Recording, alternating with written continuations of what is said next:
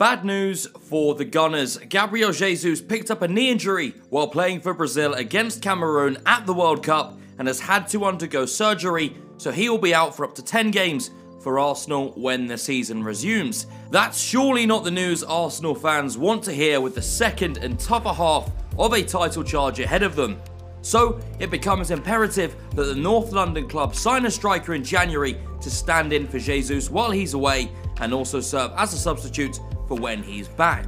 Here are the top 5 strikers Arsenal could sign in January to do just that.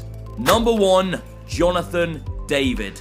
Jonathan David did not exactly have the best World Cup tournament with Canada crashing out after just two games played, but he's a solid player and he has proven it numerous times at club level.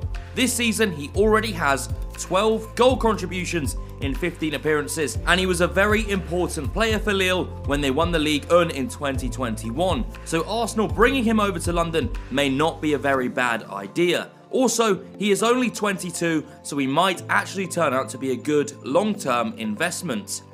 Number 2, Gonzalo Ramos. Now here's one guy whose stocks have gone up overnight. Ramos earned his first start for Portugal at the World Cup in the round of 16 game against Switzerland and he became the first man to score a hat-trick at the 2022 World Cup. He also became the first man to score a hat-trick on his first World Cup start since Miroslav Klose did in 2002. But don't for a second think that Ramos was just an overnight success. He currently has 20 goal contributions in 21 appearances for his club this season, and then going on to do it in a knockout game in the World Cup should give Arsenal some confidence that he'll turn up in big games.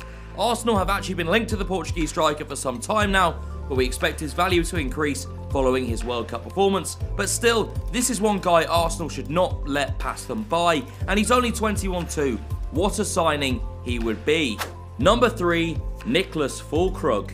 Another gem the World Cup may have unearthed is Nicholas Füllkrug. The Werder Bremen striker came off the bench to score two goals for Germany in the group stages, and although they weren't enough to get Germany to the knockout stages, they were enough to advertise him to a bunch of new suitors, perhaps including Arsenal. He currently has 13 goal contributions in 16 appearances for Werder Bremen this season, and Arsenal snatching him up in January would not exactly be a very bad idea at all. Number 4, Marcus Thuram.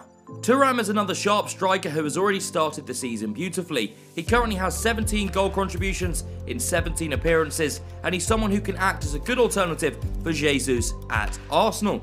He's currently at the World Cup acting as a good enough backup to Olivier Giroud, and he could also make a good enough backup for Gabriel Jesus if he joins in January. Number 5, Marko Arnautovic. Another thing Arsenal could do is just sign a short-term deal with an older striker who already has experience in the Premier League. And if they decide to do that, Arnautovic is not a bad option. He already knows what it's like playing in London, so it shouldn't take him a lot of time to adjust. He could also bring a different dimension to Arsenal's attack, being 6 foot 4 inches tall and really good in the air. We believe if Arsenal get one of these strikers, they wouldn't miss Jesus so much while he's gone. Who do you think is going to be Arteta's choice? Let us know in the comment section down below and don't forget to like the video and subscribe to our channel.